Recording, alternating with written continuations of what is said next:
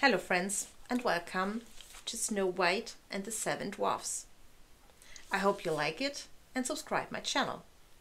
And if you want to buy this book, you have to click the link below. Enjoy! One winter's morning the queen was sitting beside her window, sewing when it began to snow. The snowflakes drifted like feathers down from the sky and settled on the window ledge. As the queen watched them, her needle slipped and pricked her finger. Three drops of blood fell onto the snow.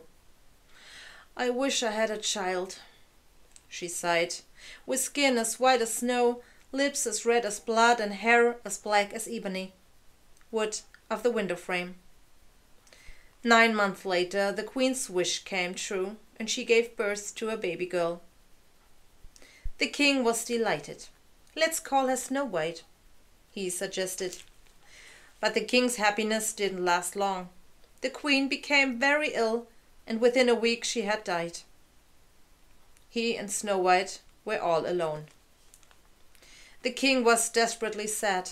He loved Snow White dearly, but he couldn't take care of her by himself. A little girl needs a mother, he said. So, after a year had passed, he decided to marry again. His new wife was beautiful, but she was also proud and vain. She couldn't bear the idea of anybody being more beautiful than her. She even had a magic mirror, just to be absolutely sure.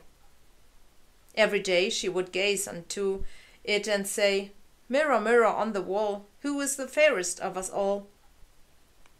And the mirror always answered, You are my queen. Then the queen was satisfied for she knew the mirror always told the truth. The queen had nothing to do with Snow White while she was growing up. She detested children and wanted the king all to herself.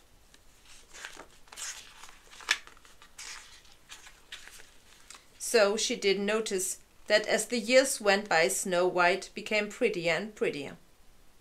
Her ebony hair tumbled down over her shoulders, framing her de delicate face, and her red lips grew soft and full.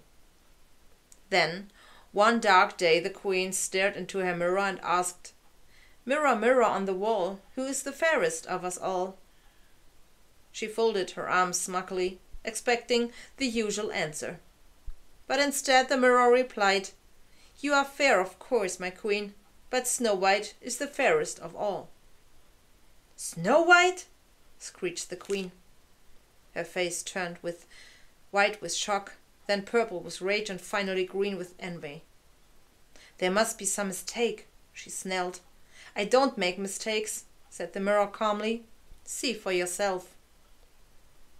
The queen looked out of the window and saw Snow White chasing butterflies by the fountain. Her eyes narrowed. It was true, Snow White was more beautiful.